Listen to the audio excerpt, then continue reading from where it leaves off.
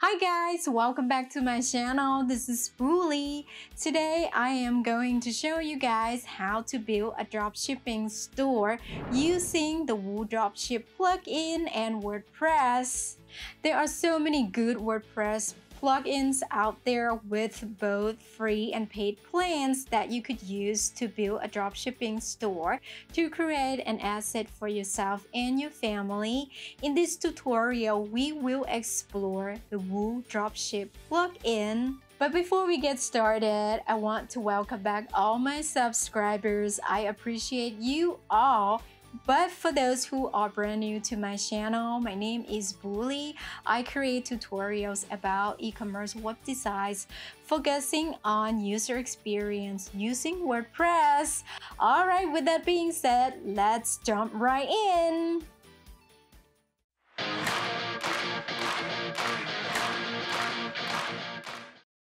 Let's go to woodropship.com we need to download the plugin to install on our demo store. Click the Get Dropshipping plugin button on the top. Or if you don't want to, you could scroll down the page a little bit to read more about the plugin.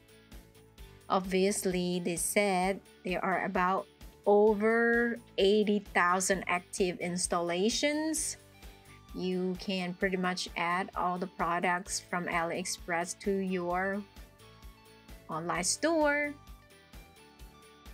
And you have to install a Google Chrome extension in order to add a product to your online store. Or you could buy this plugin. It's about $49 but Mostly this plugin will let you add about 5 products for free without buying the plugin yet.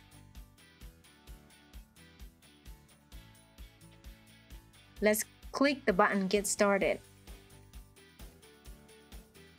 Next, you need to enter this form to sign up for an account with them enter all the information right here. Enter the password enter your email address and then click the sign up button.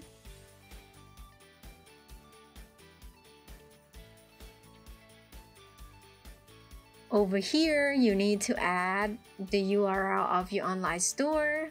Let's go back to the demo store to copy the URL and then come back here and paste the URL right here and click the connect button. Make sure that it is you sign in as an admin right here. So the Woo Dropship plugin will have the permission to read and write or to view and manage your products in your online store. Then click the approve button.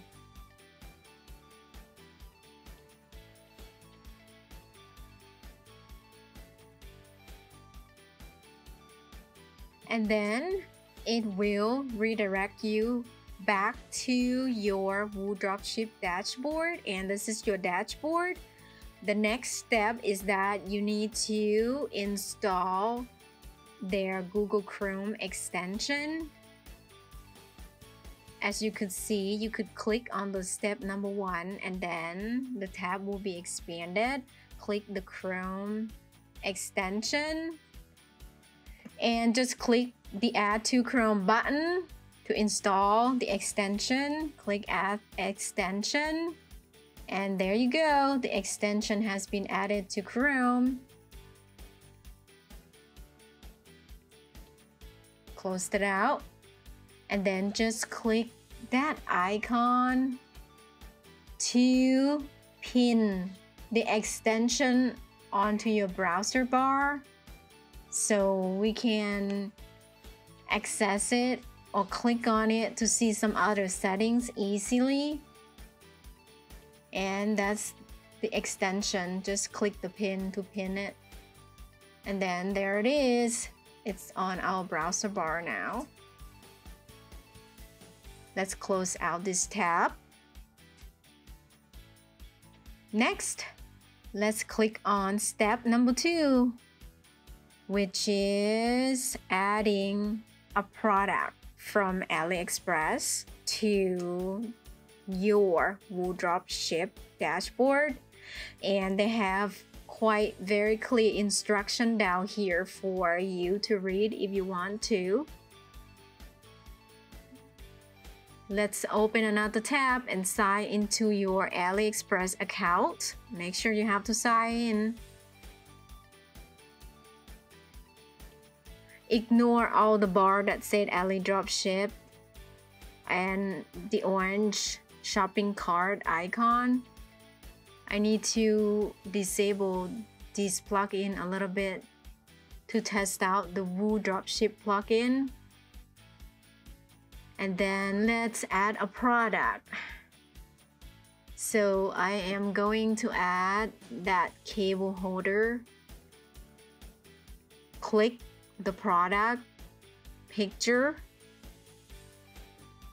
So we could go over some of the information about this cable holder. It's about one dollars and one cent. It has free shipping. It has a lot of orders.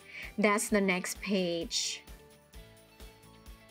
So it detected something unusual from my network from my demo store maybe my demo store is in maintenance mode but don't worry about this I have to slide that button and that's the blue button on the bottom right corner that says add to import list that we're going to use Let's scroll down a little bit. You could see all the graph and information about the sales and all this stuff. That comes from the Google Chrome extension called Asify. So this product looks good so far. It has a very good ratings and it has so many orders so far like over 8,000 orders. So let's click on add to the import list button and then it say it's added to your import list so you have to go back to your Woo Dropship dashboard and click on the products menu on the left and then you will see your imported product right here. Click on the title of the product to edit the product. Edit the title right here. This plugin doesn't copy over the product description from AliExpress, so you have to copy the description of the product manually or use a plugin to import this somehow. I'm not going to talk about another plugin about this in this tutorial. Click the sync categories button here so we can assign the product to our demo store product category. Next, click on the attributes tab to edit the attributes here. Mostly I just leave all these colors the same. Next is variants tab. I want to add a leaf. For variants. You can disable variants right here so it won't be published on your online store and you could change your regular price or the sale price right here too once you are done modifying the information or for each product you can click outside this edit product box. So it will save the information for you automatically because they don't have the save button here. You won't be able to find the save changes button or something like that. So just click outside the white box and then everything will be saved for you automatically okay once you are done click the publish button right here as you could see, you can import up to five products for free. Otherwise, you have to pay $49. This is only a lifetime membership fee. That you could get priority support, unlimited product imports, unlimited orders, variants mapping, all such. I think it is very good deal. That's under the billing section. And for the settings tab right here, you can change the product price settings right here. Let's change the value to three times each product price and click the save button. And then that's the account tab. It's your account credentials. That's the support tab. You could chat with a customer support, reach out to somebody if you need help. That help center is their knowledge base if you need to search for information about something.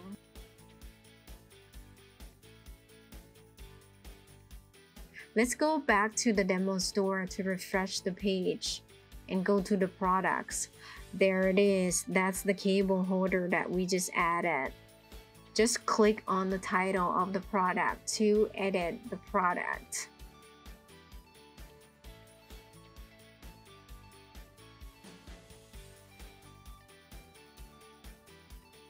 Right here, you need to add the product description.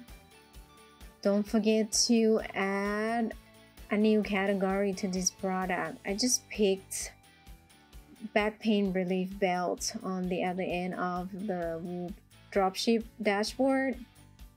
It's not it's not really its own category, so I'm gonna add a new one which is office accessories and then assign it to the office accessories and don't forget to add some product tags here so your customers or your potential customers can search for your products easily on your website.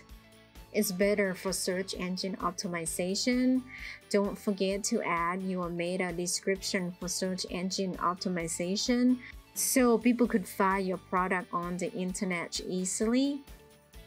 In this case, I install Yoast SEO for this to help out and scroll down a little bit. We are going to edit the variations. As you can see we disabled some variants on the Woodropship dashboard but it looks like it doesn't work like that. We have to go through this tab to remove some of the variants manually and we need to check on the prices that we entered also if they really changed what we wanted them to change. Okay, I need to edit the variations right here and remove some of them. Make sure you go through all of this. We will have only a couple of colors. We will have blue, green, black, and white. Scroll down a little bit. This is a side chart that we could add the information about the sizes of the cable holder. So let's go back to the aliexpress.com. We are going to use one of the useful Google Chrome extensions that's called Asify, but AliExpress image downloader is a good one too. And that's the image of the size of the cable holder that we are going to download using Asify.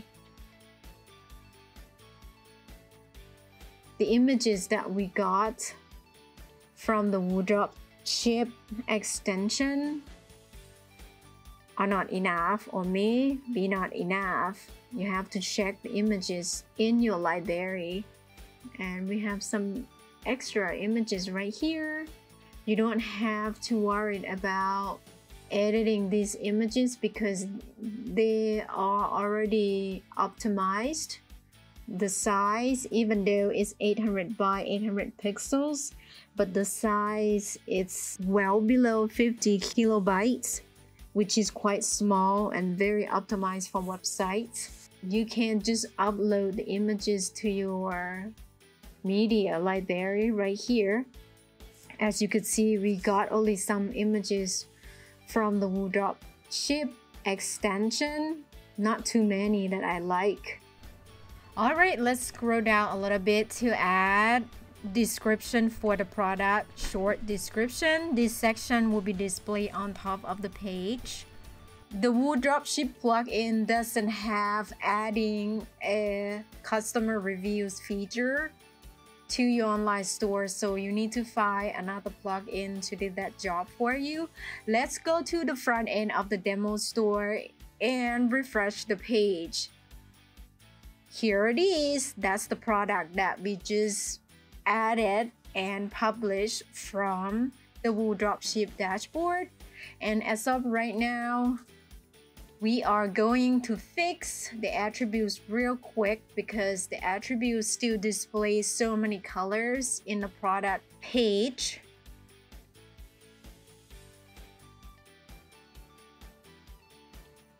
It's under attributes tab and this is where you have to edit the attributes and then click the save attributes button once you're done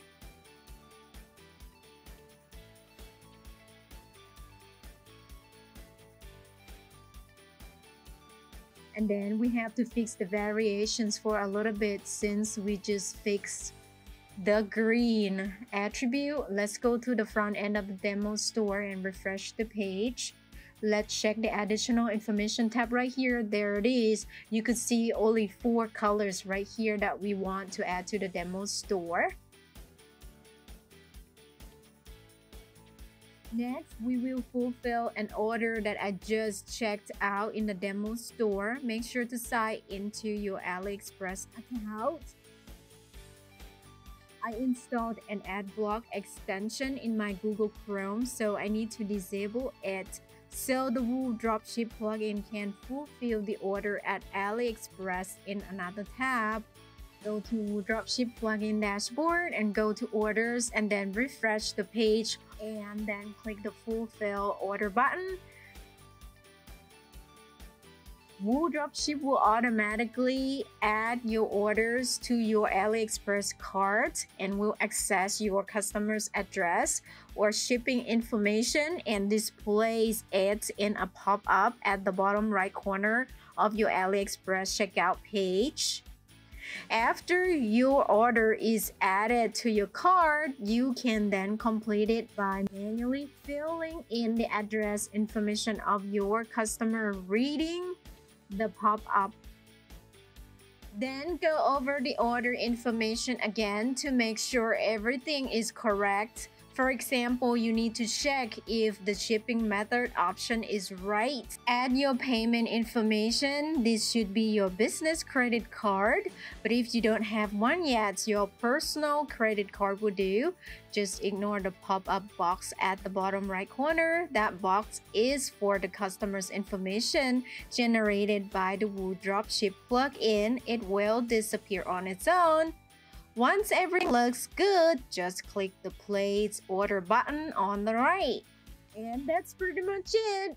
That's all for today's tutorial. Let me know in the comment section below what you guys think about using the Woo Dropship plugin to build your dropshipping store and would love to share it with our community. I would love to hear from you guys a lot. Make sure to subscribe to my channel if you haven't yet and turn on that notification bell so you won't miss any future uploads about web designs from me. If you guys find this video helpful somehow, please give it a thumbs up. I would appreciate your support a lot. Thank you so much. If you guys want to support my channel, I add all the links in the description box below for you guys to check out. Alright, thank you so much for being here to watch my video. You guys have a wonderful day wherever you are. I'll see you in my next video. Bye now.